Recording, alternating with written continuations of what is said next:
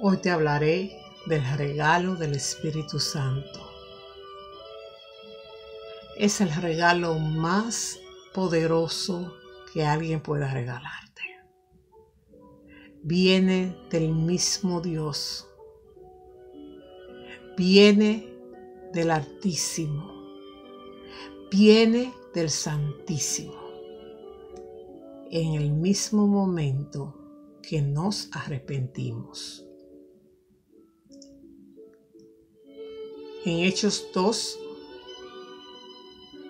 el verso 38 declara la palabra.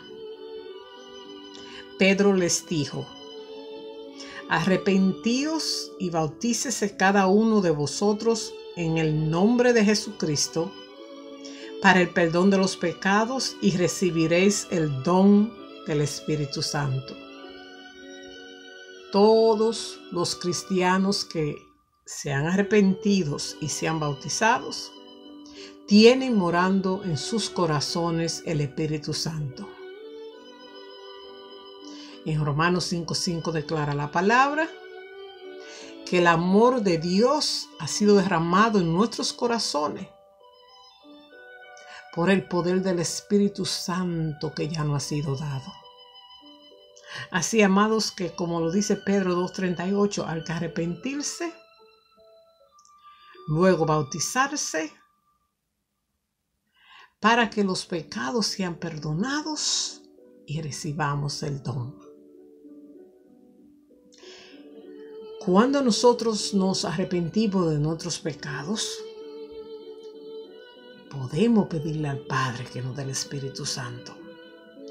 Porque en Lucas 11:13 el mismo Dios declara, pues si vosotros siendo malos sabéis dar buenas dádivas a vuestros hijos, cuanto más vuestro Padre Celestial dará el Espíritu Santo a lo que se lo pidan. Cuando decimos, Señor, lléname de tu Santo Espíritu, es porque tenemos un corazón arrepentido de todos nuestros pecados. Es porque entramos en su palabra y allí en su palabra encontramos el Espíritu Santo, porque la palabra de Dios es espíritu y es vida. Muchas personas preguntarán, pero ¿por qué necesitamos el Espíritu Santo? Una de las razones por la cual necesitamos el Espíritu Santo es porque el Espíritu Santo es Dios y Él viene a morar en nuestros corazones a través de la fe en Jesucristo. Él viene a traernos libertad, a libertar los cautivos de las ataduras donde el diablo lo tenía preso. Esto se encuentra en 2 de Corintios 3:17. Porque Señor, Él es espíritu, y donde está el espíritu del Señor, allí hay libertad. Así que toda atadura que hay en ti hoy en el nombre de Jesús queda rota por el poder de la sangre de Cristo, liberado por el poder del Espíritu Santo que ya mora en tu corazón. Otra razón por la cual necesitamos el Espíritu Santo es para que nos enseñe la verdad de la palabra y nos recuerde todas las cosas que allí hemos escuchado o leído. En Juan 14, 26 declara la palabra. Mas el consolador, el Espíritu Santo, a quien el Padre enviará en mi nombre, dijo Jesús, Él os enseñará todas las cosas y os recordará todo lo que os he dicho. Qué lindo tener el Espíritu Santo en nuestros corazones. Él es nuestro Maestro, nuestro consolador, nuestra guía y nuestro protector y nuestro defensor. Cuando el Espíritu Santo viene a morar en nuestros corazones, nos convertimos en el templo de Dios. Dice en 1 Corintios 3:16, ¿no sabéis que soy templo de Dios y que el Espíritu de Dios mora en nosotros, en vosotros? Muchas personas no lo saben, que al recibir a Cristo reciben al Espíritu Santo, que es el Espíritu de Dios. Nos convertimos en templo donde Dios vive. Ahora podemos llevar a Dios donde quiera que vayamos. La presencia de Dios está con nosotros. También recibimos el Espíritu Santo para que nos dé la potestad de hacer más discípulos y enseñarle que guarden todas las cosas que el Señor nos ha enseñado. Esto se encuentra en Mateo 28, los versos de 19 al 20, donde declara, declara la palabra. Por tanto, y hacer discípulos a todas las naciones bautizándolos en el nombre del Padre y del Hijo y del Espíritu Santo, enseñándoles que guarden todas las cosas que os he mandado, y aquí yo estoy con vosotros todos los días hasta el fin del mundo. Amén. Al venir el Espíritu Santo a tu corazón, es el Señor mismo que se muda contigo. Es el Señor que va contigo por las calles, haciendo discípulos, enseñándoles a aquellos que te dan la oportunidad de que tú le enseñes. Es el Señor que bautiza contigo en el nombre del Padre, del Hijo, del Espíritu Santo o en el nombre de su mismo nombre, Jesucristo.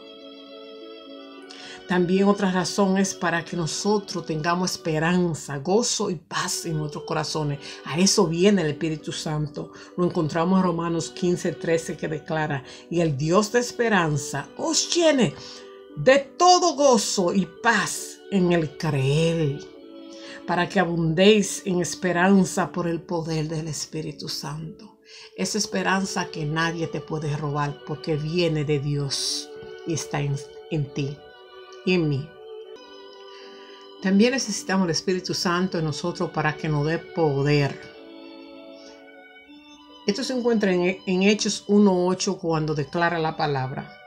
Pero recibiréis poder cuando haya venido sobre vosotros el Espíritu Santo, y me seré testigo en Jerusalén, en toda Judea, en Samaria y hasta lo último de la tierra. Entonces Señor te da poder para testificar, poder para seguir hacia adelante predicando el Evangelio de salvación en tu familia, en tu barrio y por todo el mundo. También dice la palabra para que nos dé fortaleza si nos encontramos ante algún juicio en alguna corte donde dice Hechos 5:32, pero cuando os trajeren para entregaros, no os preocupéis por lo que habéis de decir, ni lo penséis, sino lo que os fuere dado en aquella hora, eso hablad, porque no soy vosotros lo que habláis, sino el Espíritu Santo. Él es nuestro ayudador. Entonces, cuando nos encontramos en situaciones difíciles que no sabemos qué hablar, qué decir, quédate en silencio y cuando llegue el momento de hablar, habla, porque el Espíritu Santo hablará a través de ti. Qué hermoso tener este ayudador con todos nosotros. Amén. También necesitamos el Espíritu Santo para que nos ayude a escoger líderes rectos. Esto se encuentra en Hechos 13, el verso 2. Ministrando esto, el Señor y ayunando dijo, el Espíritu Santo, apartame a Bernabé y a Saulo para la obra que os he llamado.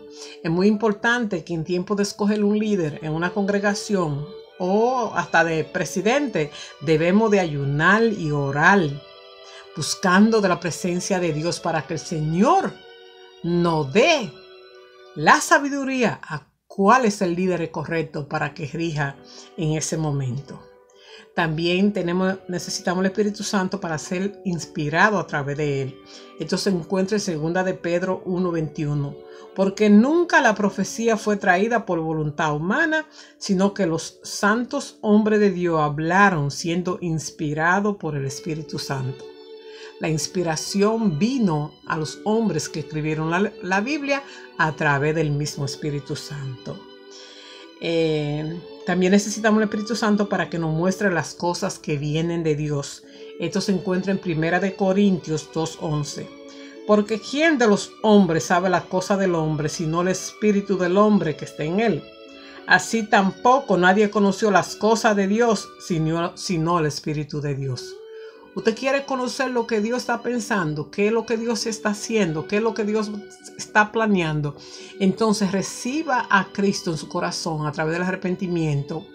Bautícese, sea lleno del Espíritu Santo, entra a la palabra de Dios y Dios le dará revelación cada día. Porque la palabra de Dios y Dios uno son. El Espíritu de Dios y el Espíritu de la palabra unos, uno es. Y por último, para que podamos recibir sus dones y usarlo para la edificación de la iglesia. Hechos 19, 5, 6. Cuando oyeron esto, fueron bautizados en el nombre del Señor Jesús y habiéndole impuesto Pablo las manos, vino sobre ellos el Espíritu Santo y hablaban en lenguas y profetizaban. Así, Señor, que en este día te damos gracias por tu Santo Espíritu. Te damos gracias por los dones espirituales que solamente vienen de ti, Señor, aquellos que son genuinos. Y te damos gracias, Señor, que somos tus siervos y que tú nos llenas de tu Santo Espíritu para que podamos seguir hacia adelante triunfando. En el nombre del Padre, del Hijo y del Espíritu Santo. Amén.